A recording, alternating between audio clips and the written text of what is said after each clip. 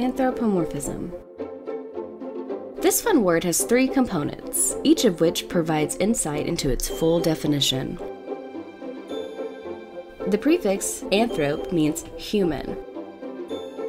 The root part of the word morph means shape or form. The suffix ism means state or quality. In other words, anthropomorphism is the act of giving human qualities to something that's non human. It is important to note such characteristics can be physical or behavioral. Here is the word used in a sentence. Disney is often renowned for their expertly curated anthropomorphisms of dishware, toys, animals, and much more. Speaking of Disney, let's look at specific examples of anthropomorphism in some of their most iconic works. Beauty and the Beast. Everyone's favorite teapot, Mrs. Potts, is about as anthropomorphic as it gets. Sweet, loving, and selfless, she perfectly emulates the ideal human mother, caring for her son Chip, who is also stuck in tea dish form, in addition to the beautiful Belle as she navigates life within the Beast's castle.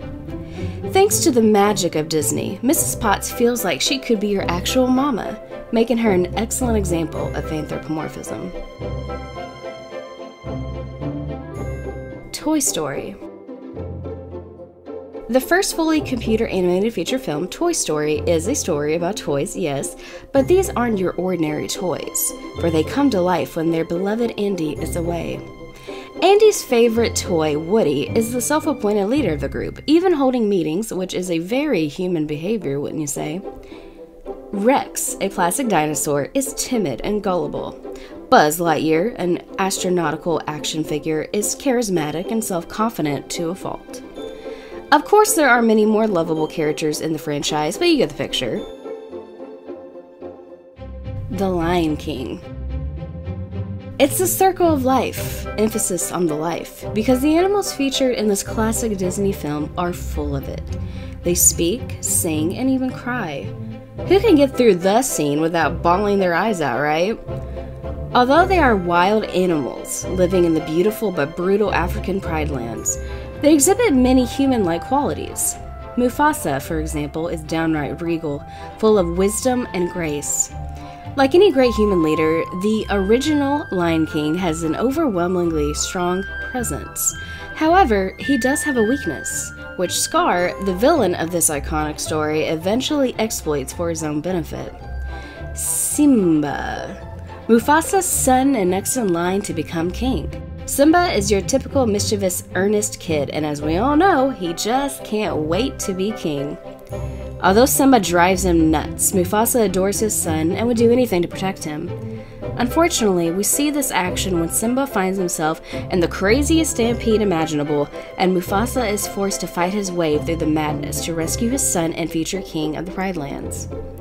Although he does save Simba, his brother Scar all but kills him in his pursuit to become king, and when he gives a worried Simba the terrible news, he manipulates him into thinking that Mufasa's death was a direct result of his actions, leaving Simba feeling terribly guilty. As you can see, the Lion King characters just scream anthropomorphism, with one of them even committing the ultimate human crime murdering one of their own in cold blood because he viewed his victim as nothing more than an obstacle to a greater goal.